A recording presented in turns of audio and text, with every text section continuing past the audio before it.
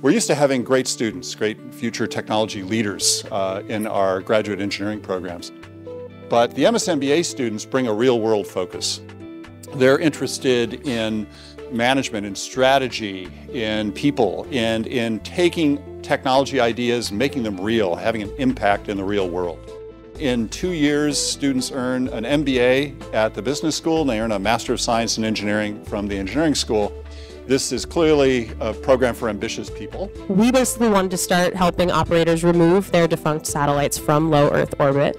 So our solution is Syzygy, which is a series of CubeSats that deploy a net to capture defunct satellites and remove them from orbit before they become a problem. You know, video games were a huge way to uh, catalyze connection when I was in the Marine Corps with me and my Marines. And so with that, I've actually been spending my past year working on a game called Regent. For those of you who don't know about the Tech Fellows program, it's an undergraduate program for juniors and seniors, which basically gives them the opportunity to take business classes at HBS, where they work very, very hard on their startup ideas. Coolant is a uh, marketplace for carbon credits, um, and our design is to make this an easy and accessible, transparent uh, way to purchase carbon credits. As a 15 year old, I could make money from a creative endeavor on the internet which culminated in my upcoming book, The Creator Revolution.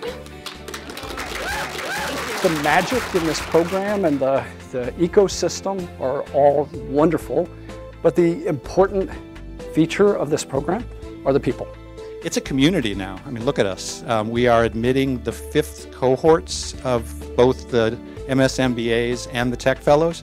Uh, we start to see the alumni of both programs coaching the current students. Um, um, providing internships, project work for the students. Uh, and there have been some amazing startups. We've had several Y Combinator teams. We've had a couple of exits already.